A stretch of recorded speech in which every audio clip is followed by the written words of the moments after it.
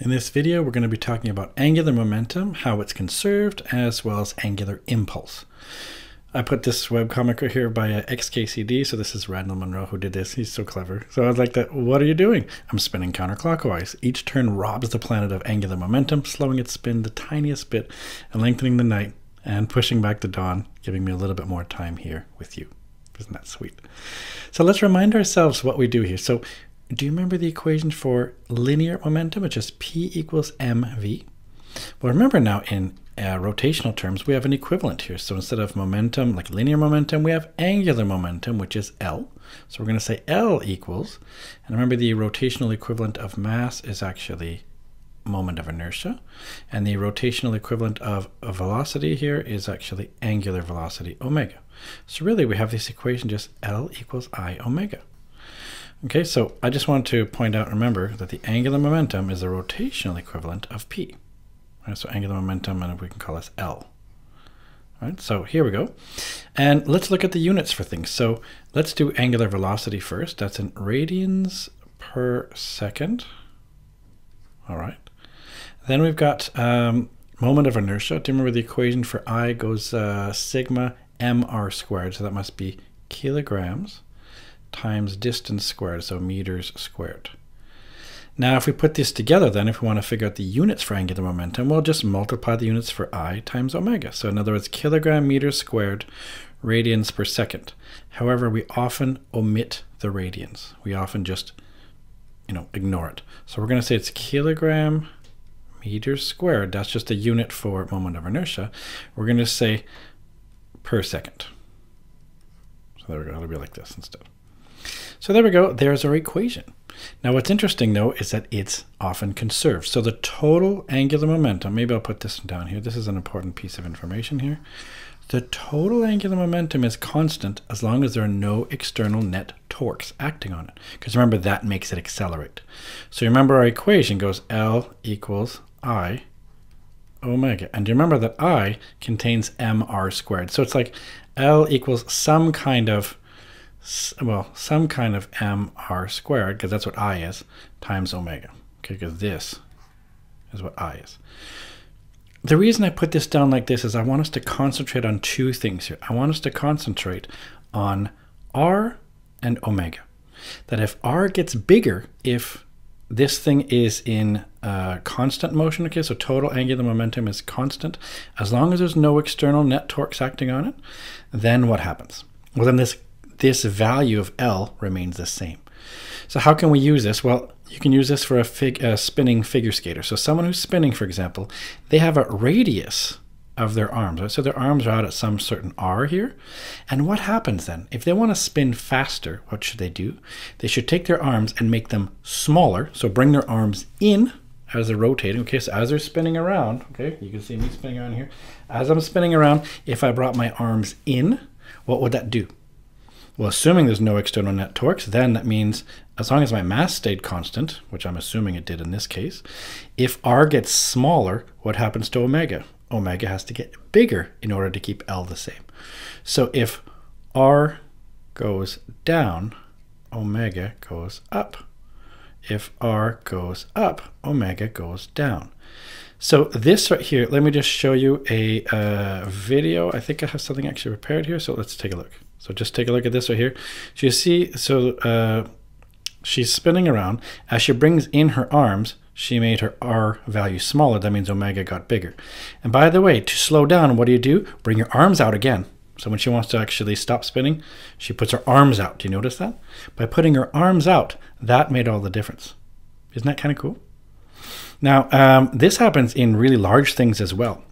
So this is a neat story, but um, in uh, the year 1054 in China, um, some people, so they, they were looking up at the stars and they said, hey, look at that, there's a new moon out there. So it was actually brighter than the moon.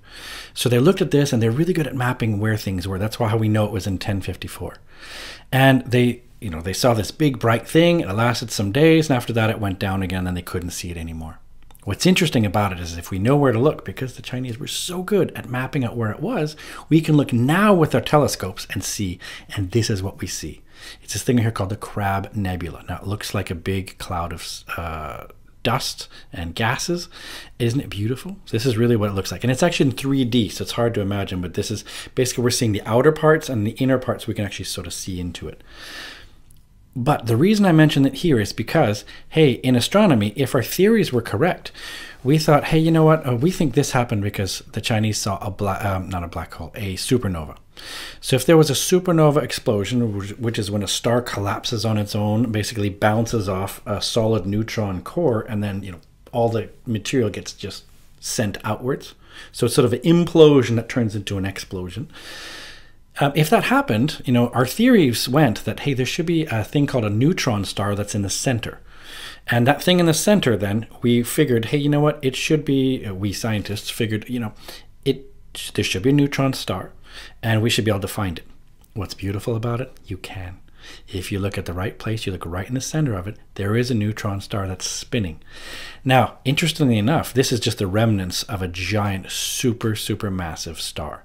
So imagine this big, big star. It used to be really big, but after it blew up, of course, a lot of pieces went missing. Yes, of course, but a lot of it also got collapsed and contracted and made more dense. So imagine that. This is our uh, situation, right, where we have constant angular momentum and then what do we do? The star itself, other than the stuff that blew off, a lot of it actually got collapsed and compressed. So that stuff, remember, it took its radius and made it a lot smaller. What happens then? Well, that means if you take a something that's way, way bigger than our sun and you collapse it to the size of a city, which is about, you know, about the size of a neutron star. So this one here, if you collapse it to the size of a city, what do you think that does to omega? Omega goes way up, doesn't it? So when a star normally rotates quite slowly, Turns out we look at the center of this particular one in the Crab Nebula, and we did. We found a neutron star, and we expected it to be spinning pretty fast, right?